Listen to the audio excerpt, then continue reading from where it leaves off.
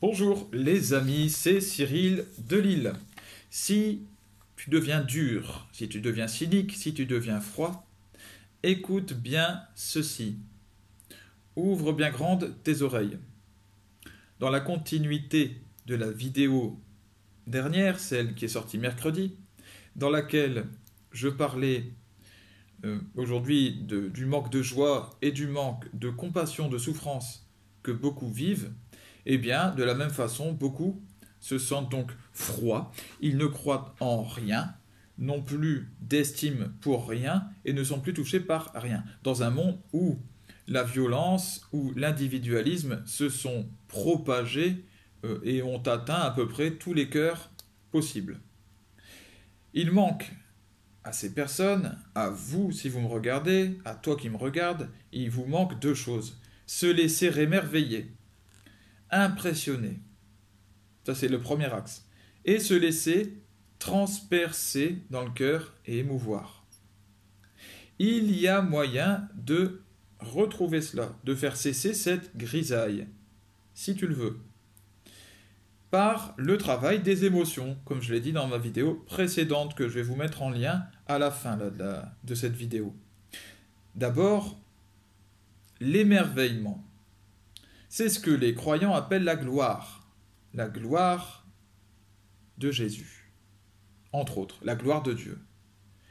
En fait, c'est tout ce qui vous émerveille. Concentrez-vous sur ce qui est impressionnant, ce qui vous impressionne, ce qui vous fascine, ce qui vous fait rêver, mais faire de grands rêves. Laissez-vous saisir par cette puissance qui peut se dégager dans la vie. Alors par des films, par des documentaires. Alors ce qui me vient là au moment où, où j'écris, ce sont des documentaires sur la nature, des documentaires donc animaliers, des documentaires sur des, je ne sais pas, qui présentent les montagnes, des choses puissantes ou des ouvrages de mains humaines. Ça peut être les pyramides, les grands, les sept merveilles du monde, etc. Euh, le cosmos aussi, les documentaires sur le cosmos, sur les planètes, sur les mouvements stellaires sur les fonds marins aussi, sur les, animaux gigantesques euh, qui s'y cachent euh, ou pas. Euh, ils ne se cachent pas forcément, d'ailleurs. Et puis, sur la profondeur des mers, sur le mystère qui s'y cache, il y a quelque chose qui est presque effrayant dans ce qui est de l'ordre de la gloire, de l'émerveillement.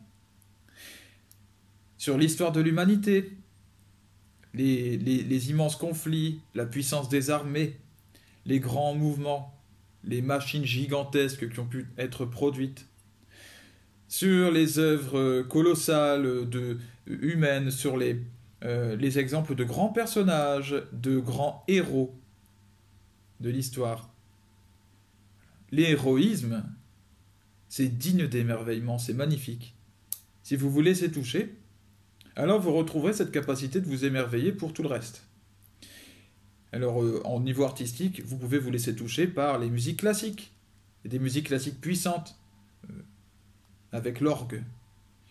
Euh, les musiques épiques aussi, les musiques de films que vous pouvez écouter. Je connais des gens qui aiment bien écouter les musiques du Seigneur des Anneaux, qui sont typiquement épiques et qui expriment la gloire, qui expriment donc ce qui est puissant, ce qui est merveilleux. Prenez mesure de votre propre potentiel au niveau personnel, de ce que vous pouvez vous-même apporter autour de vous. Parce que vous pouvez apporter quelque chose. Vous pouvez être des héros à votre niveau, sans, euh, prétention exacerbée, sans avoir besoin euh, de vouloir être le, un héros suprême. Eh bien, vous pouvez à votre niveau, et chacun a une dimension différente, bien entendu, euh, vous pouvez être un héros pour d'autres. Jean-Paul II, le pape, a été un héros d'une grande dimension. C'est pas pour ça qu'il était orgueilleux, mais c'est ce que Dieu lui avait réservé. D'autres sont des héros pour des membres d'associations, ben, vont être des héros pour quelques personnes qui connaissent autour d'eux. Et c'est très bien ainsi. Laissez-vous toucher par ce qui est alors là, je vais parler maintenant non plus de la gloire et de l'émerveillement, mais pour vous laisser transpercer, émouvoir, toucher au plus profond du cœur. Laissez-vous toucher par ce qui est omniprésent, c'est-à-dire partout présent, ce qui a motivé les plus grandes œuvres, la force de l'amour. C'est un fait historique. Les plus grandes œuvres humaines ont été réalisées par la puissance de la foi dans toutes les cultures du monde. Donc par amour pour Dieu et par volonté de servir son prochain, bien entendu. les deux sont liés. Lorsque vous construisez euh, un temple gigantesque, c'est pour Dieu, mais c'est aussi pour les hommes qui vont s'y rendre. Les deux vont en profiter d'une certaine façon, même si Dieu n'en a pas besoin dans l'absolu. Mais vous le faites pour montrer votre attachement à Dieu et pour servir les hommes, pour que chaque homme puisse venir, lui aussi, montrer son attachement. Servir son prochain, la force de l'amour, c'est celle qui, qui donne à vouloir servir son prochain. Laissez-vous transpercer par cette force-là. Prenez conscience profondément de ce que c'est. De ce que c'est que de donner sa vie pour les autres. Laissez-vous bouleverser par des corps de métier, par des gens qui ont donné leur vie pour sauver, pour des, les soignants. Euh, je pense aux, casques bleus, je pense aux gens euh, Médecins sans frontières, ceux qui vont sur des terrains de guerre prêts à donner leur vie, journalistes sans frontières, pensez aux pompiers plus proches de chez nous, pensez aux, agents de police ou aux militaires.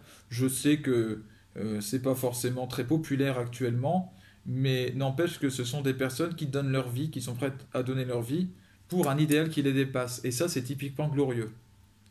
Laissez-vous bouleverser intérieurement par ce qui, ce qui peuvent se produire dans leur cœur, c'est-à-dire l'amour dont ils témoignent, l'esprit de sacrifice par amour qui les pousse à faire cela. Laissez-vous envahir par l'évidence de l'amour. Et puis, comme pour ma vidéo d'avant, pour les croyants, eh bien le sommet, c'est toujours la même chose, c'est Jésus-Christ sur la croix.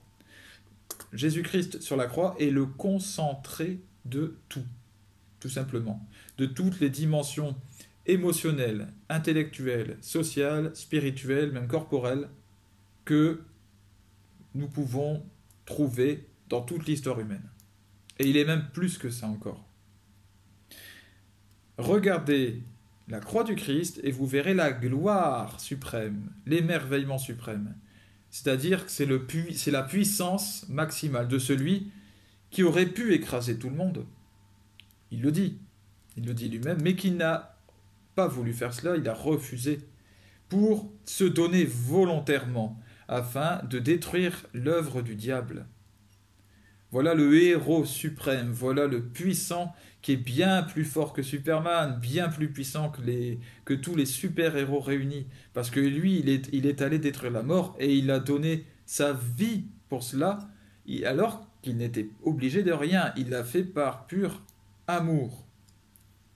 Voilà la puissance, donc à la fois ce, ce puissant qui est sur la croix, qui a détruit la mort et qui a les mains complètement ouvertes. Vous voyez les mains du, du vainqueur, les mains du héros qui a gagné.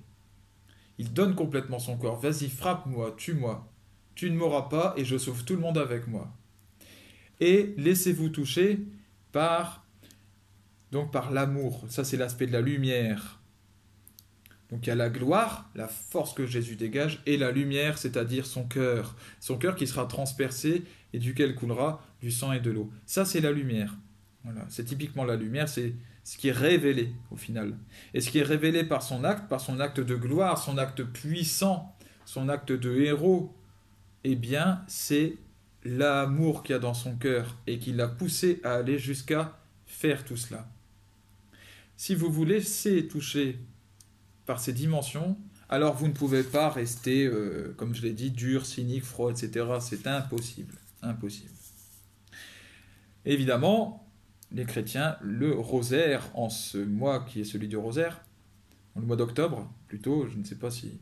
Je crois que nous serons encore au mois d'octobre. Non, nous ne sommes plus au mois d'octobre quand cette vidéo sort. Eh bien, dans le rosaire, il y a les mystères de gloire et de lumière eh bien dites bien votre rosaire, votre chapelet quotidien, plus si vous le voulez, et vous nourrirez cette, euh, cette dimension-là qui est nécessaire à notre humanité. Que Dieu vous bénisse et bénisse tous vos proches. Salut.